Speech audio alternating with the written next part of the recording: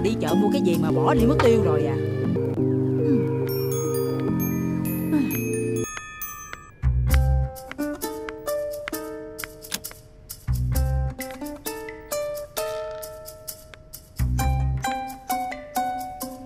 Bà ơi! Ơi! Bà kêu con hả bà ơi? Đợi bà một chút. Dạ. Bà bà. Ừ. Bà kêu con gì? Nè Bà tưởng con đi chợ rồi chứ. Chưa Con vô lấy này nè. Đây nè. Đó. Mua theo trong tờ giấy này dùm cho bà. Hột sen, đậu đen, bồ câu. Trời Bà tẩm bổ cho mợ Lam dữ vậy hả? Nhiều chuyện quá. Đi chợ mau rồi về nghe chưa? Dạ.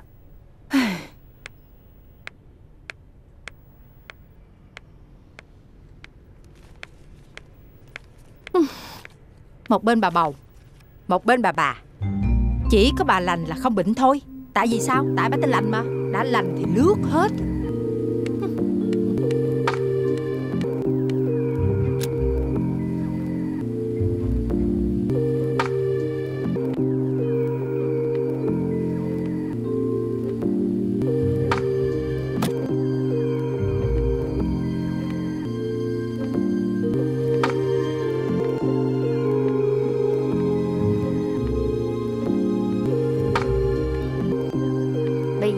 Trong căn nhà này không ai có thể cản trở mình đi ra khỏi. Tăng. Thiền lên lên Địa lên lên Đi hết giùm tôi cái đi. Ôi trời ơi Bà bầu bà bì nặng nề quá.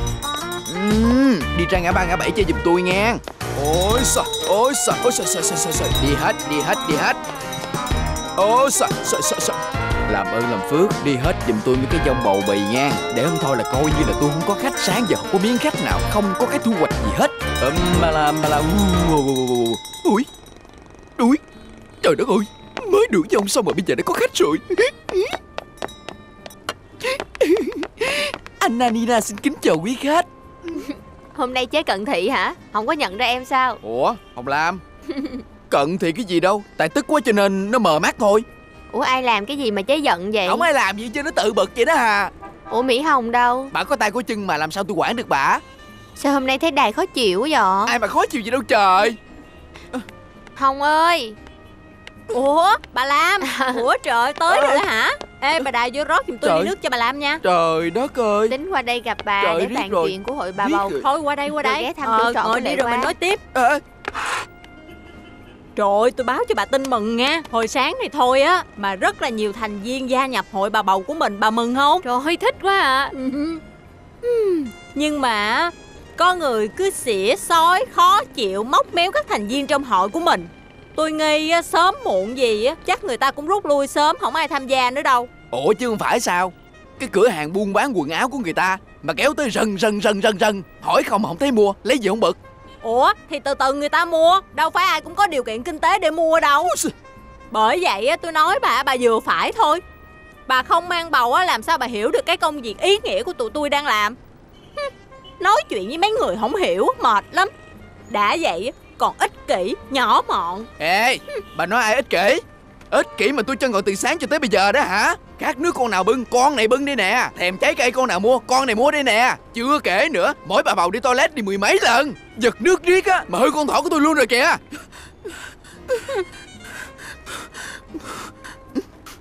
Hay thôi mình đi qua chỗ Kim Khánh mình bàn chuyện đi. Ờ đúng rồi đó. Đi qua chỗ bà Khánh đi. Mắc công ở đây á Có người cứ càm ràm càm ràm phát mọt à. Ờ đi đi đi đi đi đi đi đi đi. Tiệm chung mà làm như của mình mình vậy đó Đi bà Lam. Trời, Đi mệt. bà Lam.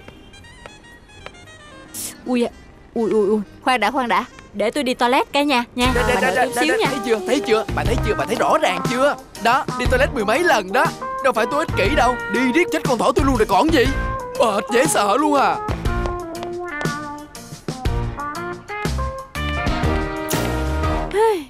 Càng nghĩ càng tức mà mình chỉ mượn cửa hàng của bà có chút xíu thôi mà bà nhảy đổng lên vậy đó trong khi tôi cũng có phần hùng mà Chuyện của bà với Quỳnh Đài á Bà đừng có bực như vậy nữa Chuyện kinh doanh mà đâu phải ra đó chứ Thôi thôi thôi, không có nói mấy cái chuyện này nữa. Bây giờ quan trọng nhất á là mình phải tìm cho ra cái chỗ hoạt động mới cho hội bà bầu của tụi mình. Không thể nào mà tập trung mãi ở cửa hàng của bà được. Dù sao á, đó cũng là chỗ làm ăn. Bà Quỳnh Đài bà nói như vậy á, cũng có lý của bà mà. ừ, Khánh nói đúng rồi đó Trên đường tới đây Tôi đã nghĩ ra được một chỗ cực kỳ thích hợp cho hội bà bầu của tụi mình ở đâu Tôi chưa có nói bây giờ đâu Lát tụi mình tới thăm Lệ Qua đi Lúc đó tôi sẽ công bố cho tất cả mọi người cùng biết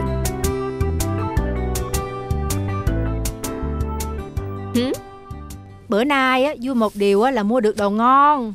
Ờ, cái bịch này là mình thích nhất đây nè. Ờ. Trời ơi bồ câu cũng ngon luôn. Cái gì cũng ngon hết trơn á. Ơi, có cái bịch này là mê nè. Ừm. Lành à Dạ, Bộ Linh hết cái chợ về hay sao mà lâu quá vậy dạ không có. Không biết sao bữa nay đồ ăn nó hiếm quá bà. Ờ Đồ ăn hiếm Hay là con lo tám chuyện ở ngoài Ừm, dạ đâu có.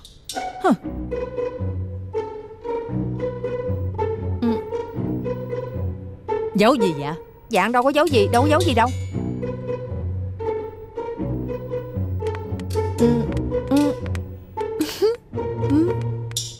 Ừm.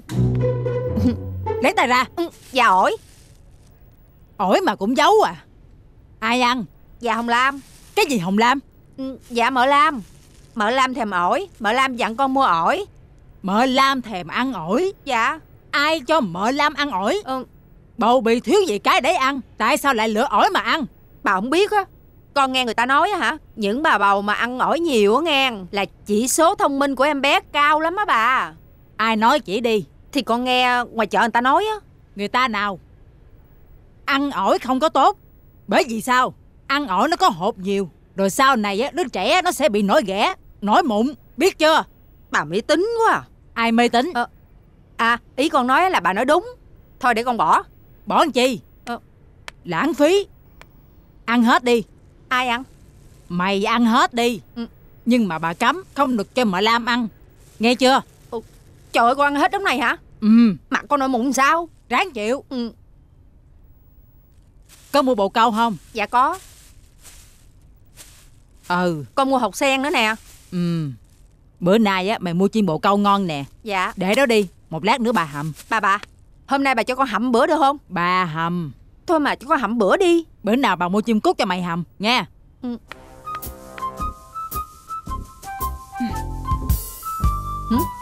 Bà còn gì muốn dặn con hả?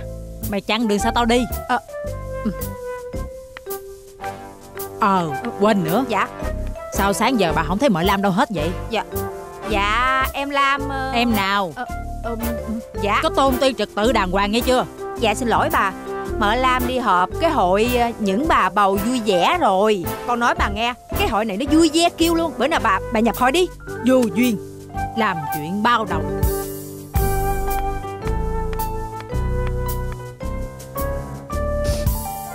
rồi sáng giờ bà ăn uống gì chưa? Ờ thì tôi cũng ăn miếng cháo rồi. Tôi không sao đâu. Ê bà đỡ tôi một cái. Đi đâu vậy? Đi lấy nước cho mấy bà uống chứ. Thôi đi Trời bà điên thôi hả? đi, bà đặt lấy nước Mệt nữa. quá à. Đã mệt rồi còn đi rót nước nữa. Ngồi đó đi. Biết chắc là bà chưa có ăn gì hết Cho nên đi mua một đống đồ ăn về cho bà nè. Nè, trái cây đó. Đưa trả cho người ta đi Ngửi hoài. Cho hửi chút đi. Thèm Cảm cái ơn mùi mấy bà quá à Mà tới thăm tôi có chuyện gì vui không? Kể nghe coi. Có hai lý do. Một á là tới thăm bà Với lại cái thứ hai á là báo cho bà một tin cực kỳ vui luôn. Đó là hội bà bầu của tụi mình chuyển qua trụ sở mới rồi không còn ở trụ sở cũ shop thời trang nữa. Vậy hả? Ở đâu vậy? Nhà bà Hồng Lam nè. Nhà Hồng Lam? Ừ, ừ, Rồi mẹ chồng với lại anh Kiên sao? Không phải Không phải là cái nhà đó Mà là nhà riêng của tôi với anh Kiên đó Bây giờ là tôi ở chung nhà với lại ba mẹ chồng Cho nên là cái nhà đó bỏ trống đâu có làm gì đâu. Trời ơi, bà không biết đó thôi. Nhà bà Lam á hả? Vừa rộng nè, vừa tiện nghi Vừa nhiều phòng nữa. Mình có thể chia ra làm nhiều phòng. Một phòng á là để tập yoga nè Phòng khác mình làm phòng tư vấn. Còn một phòng nữa Mình làm phòng nghỉ ngơi khi cần thiết. Mỹ Hồng Hử? Bà bớt nói lại được không? Ờ bớt nói đi, nói hoài. Vậy là tốt rồi Sau này á khi mà hội họp chắc là sẽ vui lắm á. Bà Lam nè ừ. Cái chuyện mà sử dụng nhà bà á Tôi thấy cũng tiện cho hội. Nhưng mà Tôi hỏi thiệt bà nha. Ừ. Bà đã hỏi ý kiến gia đình chưa? À, ê, chưa hỏi nữa. À, Chưa hỏi thì rồi sẽ hỏi. Tối nay sẽ hỏi. Tối nay sẽ nói chuyện trực tiếp với ba má chồng với lại anh Kiên luôn. Ừ. Yên tâm đi, đã nói được là được mà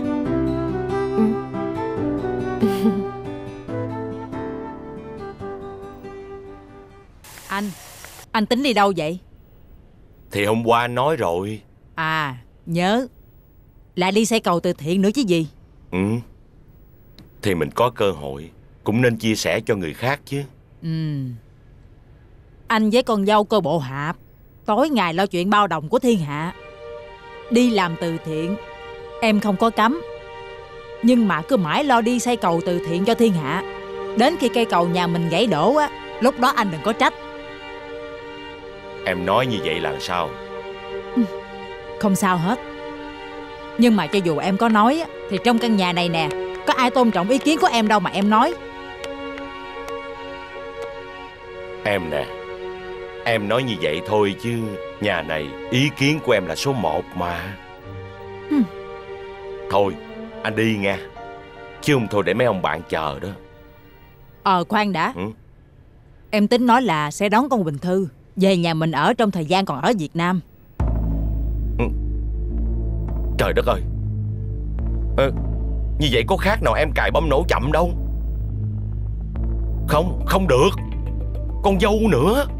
Sao vậy được? Sao không được? Chuyện của con Quỳnh Thư và thằng Kiên không thành Là do duyên số. Còn bây giờ hoàn cảnh của Quỳnh Thư rất là tội nghiệp. Gia đình tan nát. Đứa con trong bụng thì không còn Còn ở Việt Nam á thì không có ai thân thích. Ủa? Anh đi làm từ thiện được. Sao không làm từ thiện cho nó đi? Nhưng cái chuyện này là chuyện tế nhị. Mình cứ để nó ở khách sạn Rồi mình qua lại chăm sóc nó cũng được mà. Con sao đâu? Nếu mà để ở khách sạn á Thì còn gì là tình cảm? Còn gì là sự chăm sóc? Em đã quyết định rồi. Đã coi Quỳnh Thư như là con gái Thì em phải cư xử sao cho giống mẹ của nó. Còn con Lam Nó có coi sự chăm sóc của em là tình thương không? Không. Thôi Em muốn làm gì thì em làm. Nhưng đừng để ba đứa tụi nhỏ Dướng vô cái chuyện khó xử là được rồi. Anh yên tâm. Em biết em làm cái gì mà. Anh đi nha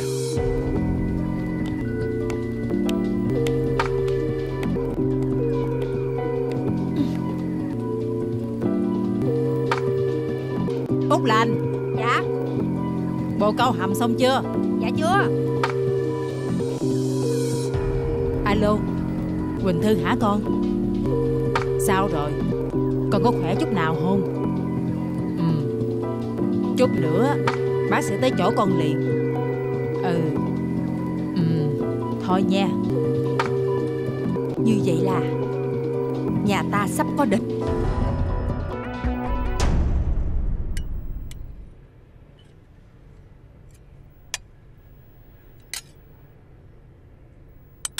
Nhịn gì? Muốn ăn hả? Dạ không. Bà ơi Bà múc sạch luôn hả bà? Không chịu cho mợ làm miếng nào hả bà? Không. Mợ Lam mày á Đâu có ăn đồ ăn cổ lỗ sĩ của bà nấu đâu.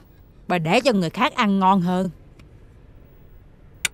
Hôm nay á Ông đi làm từ thiện Không về ăn cơm. Mợ Lam đi đâu á Chắc cũng không ăn cơm. Bà vô bệnh viện thăm Quỳnh Thư Cũng không ăn cơm Vậy thì mày cũng khỏi ăn cơm. Khỏi nó mất công lắm. Bà bà bà. Bà mới nói là đem cái này cho Quỳnh Thư ăn hả? Rồi sao? Có gì không? Dạ không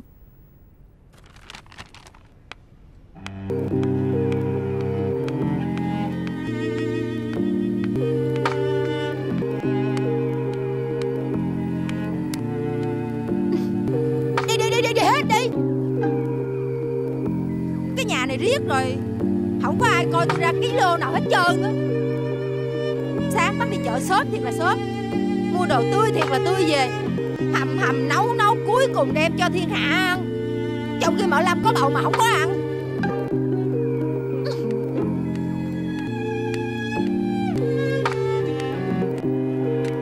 Còn có chút xíu nước à. Sao hút Được rồi. Tôi đi chợ nấu cái khác cho mà làm ăn. Út Ranh Hử? Chị làm sao mà chị cầm ràm vậy? Cũng tay em á. Nấu đồ ăn không ăn. Đi hoài đi hoài. Giờ thiên hạ người ta ăn rồi đó. Vừa lòng em chưa? Út Lạnh. Chị nói cái gì vậy? Em không hiểu gì hết. Bà đó Sáng sớm bắt chị đi chợ Mua bồ câu nè. Làm không biết sợ vậy ta? Ủa nữa Bây giờ tính chuyện của con nè. Bác tính như vậy Nếu mà ngày con xuất viện á Cứ về nhà bác mà ở. Dù sao thì Nhà bác cũng còn dư phòng bỏ trống. Con ở khách sạn chơi cho cực vậy con? Dạ thôi Con con thấy như vậy là ngại cho anh Kiên. Có gì đâu mà ngại chứ. Bác đã nói rồi Bác coi con á là như con của bác trong nhà mà. Không có gì ngại hết. Nếu mà con cứ ngại vậy hoài á Là con khách sáo với bác quá à. Dạ con Ăn đi con Không thôi nó nguội đó con sẽ nghe lời bác. Ừ.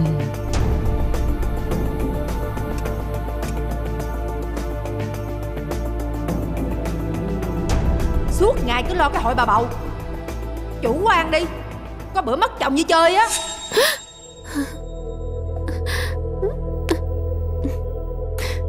Chị Út Lạnh Nói như vậy Cũng có lý đó chứ. Nhưng mà Nhưng mà nói gì thì nói Mình không có tin anh Kiên Thì mình cũng phải tin mình. Đúng rồi.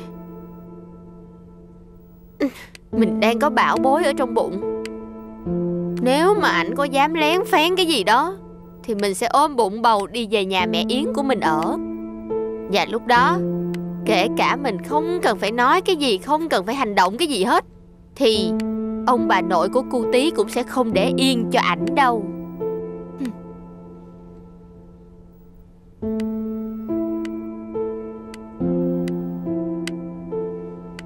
Ôi, mẹ yêu con của mẹ nhiều quá. Cảm ơn con nha. Ôi, thương quá à. Cảm ơn con nha. Cảm ơn con nhiều lắm. Mời vào. Dạ thưa giám đốc Có bà cần gặp à? Ủa? Cảm ơn cô. Mẹ? Chào bà Mẹ ngồi đây đi mẹ. Ừ.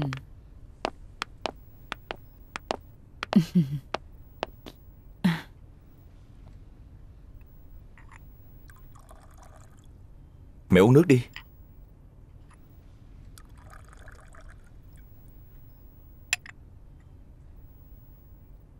Ừm, Có chuyện gì hả mẹ? Vợ con lại gây rắc rối Nên mẹ phải đến đây tìm con có đúng không Con không cần phải lo lắng quá. Mẹ đã hứa là sẽ không gò bó vợ con rồi mà. Vậy mà làm con hết hồn mà. Mẹ vừa ghé thăm con Thư Rồi tiện đường mẹ qua đây để rủ con ăn cơm trưa. Ăn trưa với con à? Ừ. Có gì đâu mà con ngạc nhiên dữ vậy. Ờ thì ờ, Tại con thấy mẹ luôn phản đối thức ăn ở bên ngoài mà. Nhưng mà bữa nay á Ba con đi từ thiện. Con Lam cũng không có ở nhà Nên có ai đâu mà phải nấu cơm Ủa? Vợ con mới gọi cho con. Cổ về nhà rồi mà. Ờ Vậy hả? Mẹ tưởng là vợ con á nhiều việc ở ngoài đường quá Cho nên mẹ đã dặn con lành là không nấu cơm. Dạ Không có sao. Lâu lâu con trai đi ăn cơm tiệm với mẹ Cũng vui mà. Ừ. Thôi vậy thì con thu xếp đi Mẹ sẽ chờ. Dạ mẹ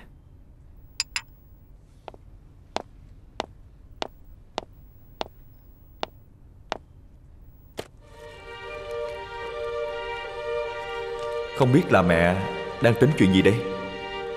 Sao mình thấy lo quá?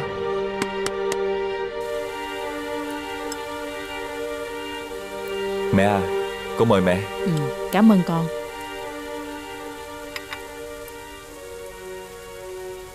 Mẹ kêu con đi ăn cơm Là có chuyện muốn nói với con.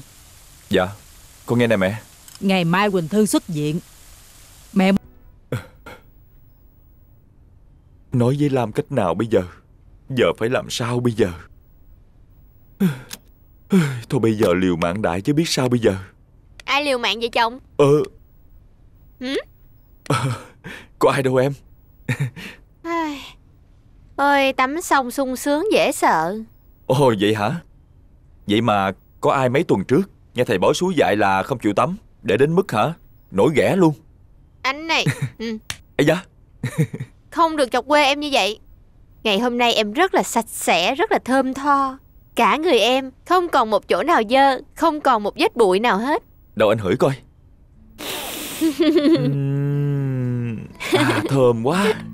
Chà Tiểu thơ của tôi đã trở lại. Nè anh massage cho em nha. Đó Sảng khoái không? Ai, Có chồng thật là sung sướng Ờ Vợ nè. Bữa nay á anh thấy mẹ cũng dễ dãi với em nhiều rồi. Thì tại vì vợ ngoan mà Mẹ đâu có lý do gì để la nữa đâu. Ừ. Đâu có. Chồng thấy tại mẹ dễ ra đó. Thì à, cũng đúng một chút chút Bởi vậy á Nếu mà mẹ có đề nghị gì đó một chút chút Thì em cùng với anh chịu ý mẹ nha Hóa ra là anh massage cho em là vì anh có âm mưu đúng không?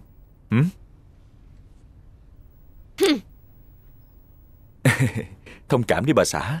Anh đứng cửa giữa mà. Chính xác là chuyện gì vậy? Ừm, Anh nói nhưng mà Bà xã không được giận nha. Thì anh cứ nói đi thì em mới biết được. Ờ mặt em căng như thép vậy sao mà anh nói được? Em cười nè anh nói đi Ờ Mẹ định là Cho Quỳnh Thư về nhà mình ở. Tại sao vậy?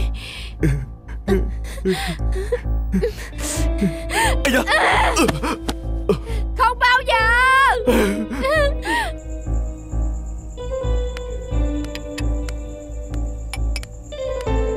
Ba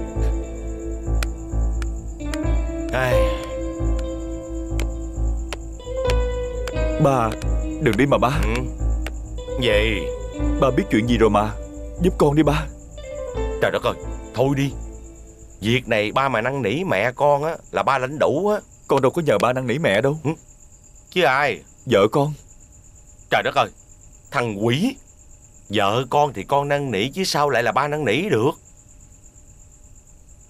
Nhưng ba biết chuyện lần này Con mà nói ra là tình ngay Lý Giang liền Cũng phải. Bởi vậy Ba dùng uy tín của ba Bảo lãnh cho con đi. Thôi được rồi Để mai ba năn nỉ con dâu cho. Dạ con. Nè Mày tính nói cảm ơn ông Thịnh phải không? Dạ không phải. Chứ gì? Cảm ơn chồng bà Xuân. Chọc tao hả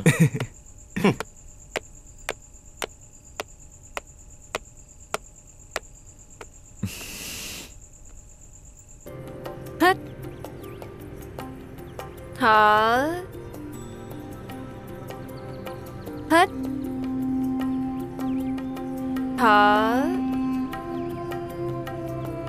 Hít. Thở. Hít. Thở. Rồi, động tác thứ hai. Chống hai tay ngang hông. Cúi gặp người song song với mặt đất. Ép sát hai tay vào. Hít Thở. Hít Thở.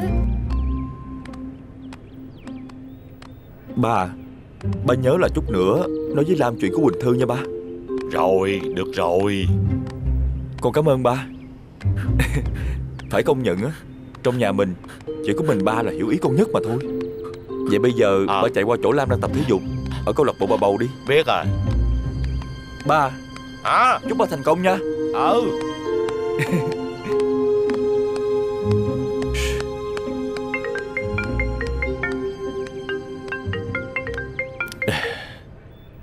Dạ con nghe mẹ Con đang ở đâu vậy?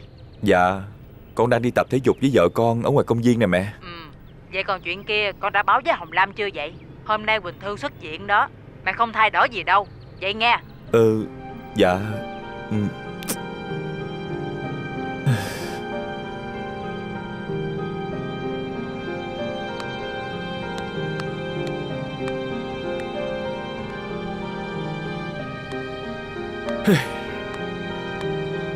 Không biết ba có thuyết phục được bà xã đại nhân hay không nữa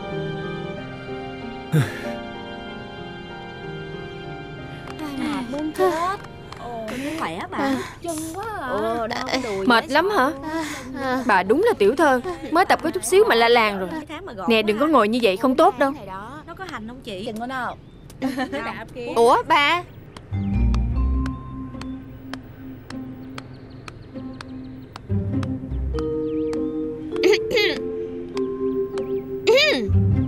Ờ, ủa?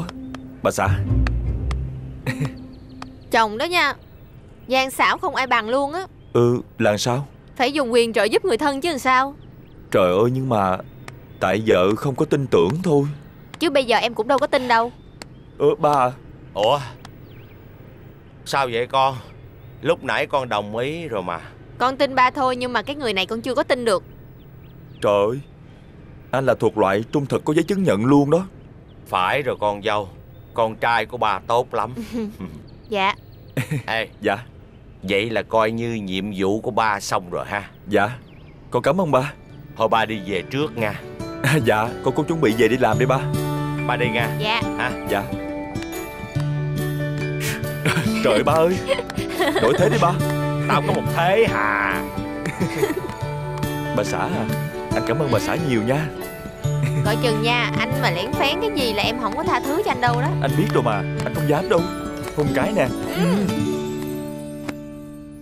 Dạ Con đang thu dọn đồ đạc Ừ, con cứ chuẩn bị đi nghe. Chút xíu á, bác sẽ nhờ thằng Kiên lên đón con về. Dạ con biết rồi Con cảm ơn bác Ừ.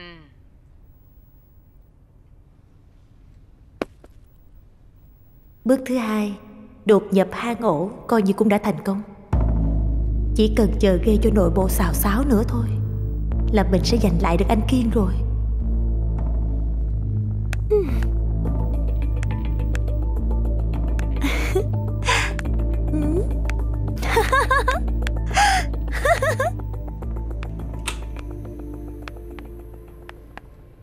Ừ Ừ Đó coi đi. Ẩm mốc quá. Nếu thấy ổn á thì làm văn phòng cho hội mình. Nè nè bà Lam. Cái gì vậy? Che mũi lại. Bụi bặm không? Mình chịu được chứ con mình đâu có chịu được. Trời ơi thấy ghê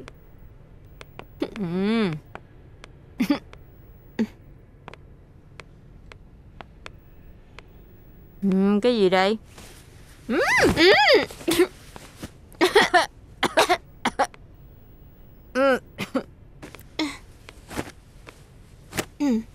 Cũng được á. Bụi quá, Bụi thiệt á. Ngắm nghĩa đi. Thiếu cái gì thì mình sắp xếp thêm.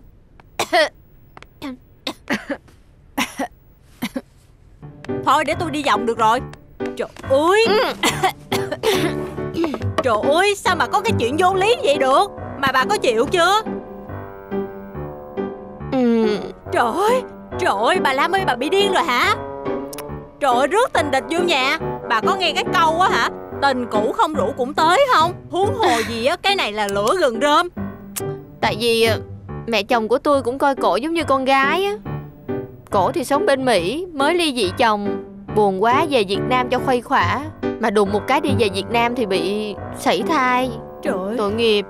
Trời ơi ở đâu ra mà cái chuyện vô lý như vậy được? Không thể nào trùng hợp như vậy được. Ê có khi nào hàng gài không? Ừ. Cái đó thì mẹ chồng tôi quyết định rồi. Ba chồng tôi thì đứng ra bảo lãnh cho ông Kiên Nên không có làm được cái gì hết. Vậy là khó cho bà rồi đó. Tôi cũng thấy lo lo Quá lo luôn thì có Chứ ở đó mà lo lo. Chứ bây giờ tôi phải làm cái gì? Làm cái gì hả? À Bây giờ bà phải bám sát tình địch Không rời nửa bước. Ờ ha Sao mình không nghĩ ra cái chuyện đó ta? Ui da u, u. Ủa sao vậy em bé Đạp Sao con hả? đạp mẹ dữ vậy? Mà ai kêu? Ui, Ai kêu chạy qua chạy lại từ nãy giờ làm chi tại bà đó. Ừ. Trong đây toàn là bụi bặm không à Con tôi nó không có chịu. Ui trời trời trời trời trời. Đâu? Trời Nè nè nè nè. Nó gò bên đây nè.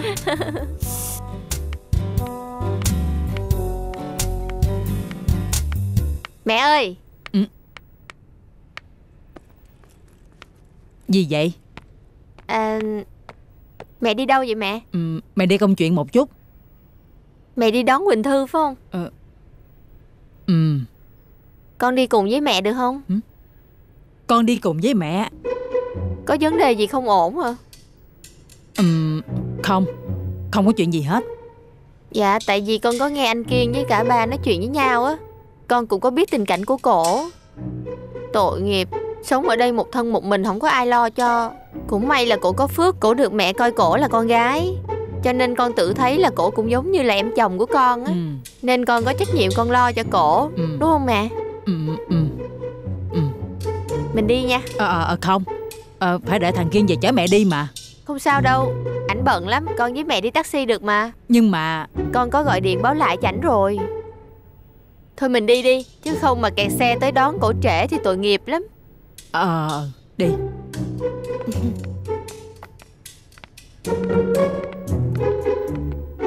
Tên tên tên tên tên tên tên tên tên tên tên Ôi đừng có khóc nữa mà. Ồ thương nha.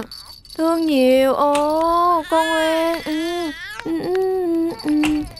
ừ, ừ. Dạ thưa chị em mới về. Sao hôm nay em về trễ quá vậy? Dạ.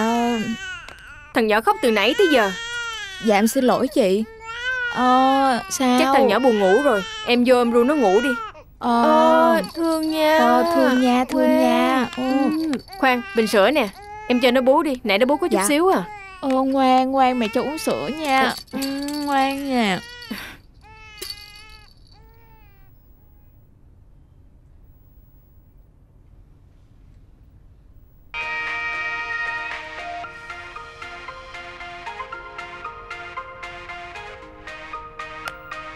La la la la la la Thảo. la la. Dạ? Lại đây. Sao chị? Bộ công việc của em bận lắm hả?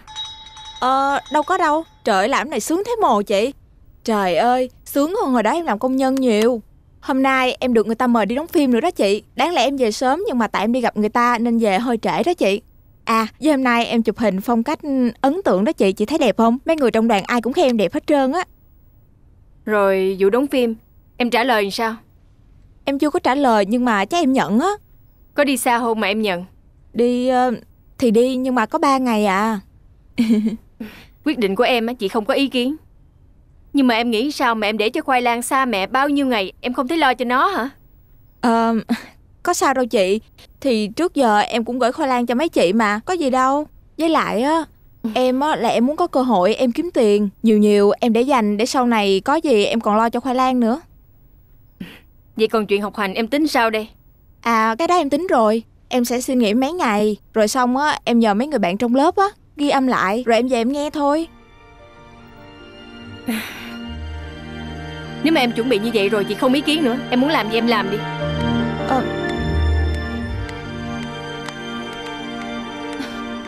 Sao kỳ vậy? Lúc nào chị Khánh cũng bàn ra chuyện mình đi đóng phim hết vậy ta? Vô đi con Dạ. Thư ngồi đi. Cảm ơn chị Lam.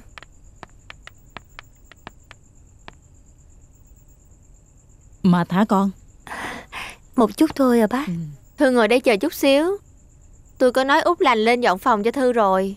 Khi nào mà dọn xong thì Thư lên trên đó nghỉ ngơi cho nó khỏe. Thì cảm ơn chị Lam nha. Thôi Lam mà Con bầu bì Đi nghỉ ngơi đi. Mấy cái chuyện của Quỳnh Thư Để mẹ lo cho. Không sao đâu mẹ Con là con dâu ở trong nhà mà. Với lại Thư bây giờ là khách ở trong nhà rồi Thì con phải lo chu đáo chứ. Không sao đâu. Cảm ơn chị Lam Chị làm chu đáo thiệt. Ờ, Thư có muốn lên trên phòng không? Coi xem là thiếu cái gì không? Thì ờ, thì nói Nếu mà thiếu thì tôi kêu út lành ra ngoài mua cho. Cũng được. Ừ, Thôi con xin phép bác. Ừ con. Cẩn thận đó nha Lam. Dạ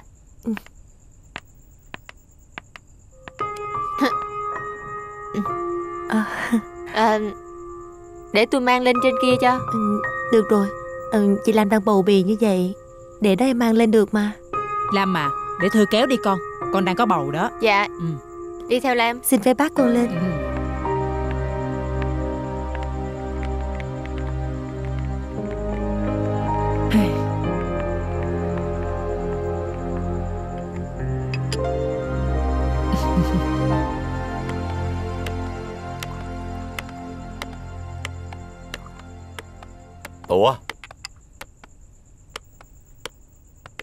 sao bữa nay à, em nói à, em đón Quỳnh Thư về đâu rồi? Em đón rồi. Vậy cổ đâu rồi mẹ? Nói với con Lam Hai đứa lên lầu rồi. Trên lầu. Ủa? Hai cha con anh sao vậy? Hai cổ có chuyện gì không mẹ? Chuyện gì là chuyện gì? Ừ, Xẹt lửa đó. Dạ đúng rồi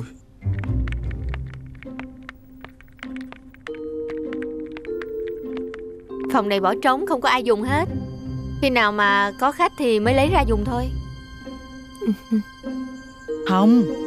Thấy hai chị em nó rất là vui vẻ Hòa thuận lẫn nhau. Dạ Thôi để con lên lầu. Hả? Uống nước đi anh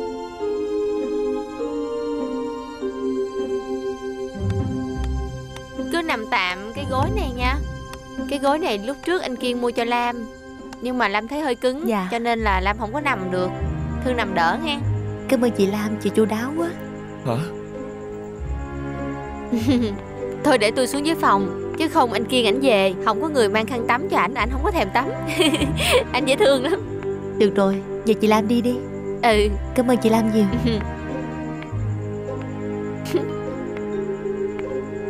Rõ ràng là muốn chọc tức mình mà. Kiểu này Kế hoạch dạo hang bắt cọp của mình, Coi như phải thay đổi rồi. Mình ở lại đây, Hình như không thuận lợi cho lắm.